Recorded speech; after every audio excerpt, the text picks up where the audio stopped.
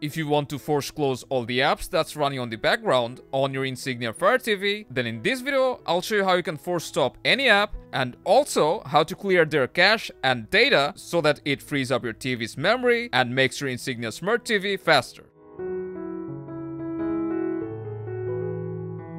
To force close apps, we need to go to settings first. Then from there, we'll go to applications, go down to manage installed apps, and now just highlight the app that you want to close, then select force stop.